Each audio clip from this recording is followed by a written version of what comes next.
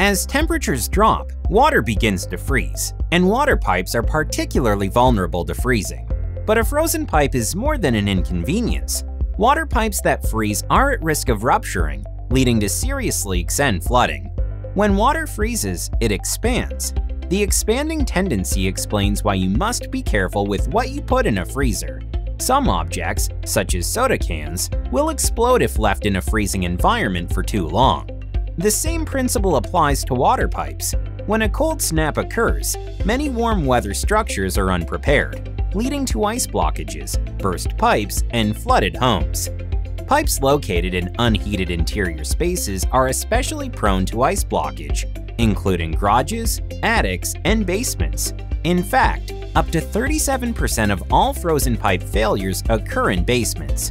Even pipe systems that thread through cabinets or exterior walls can freeze under the right conditions.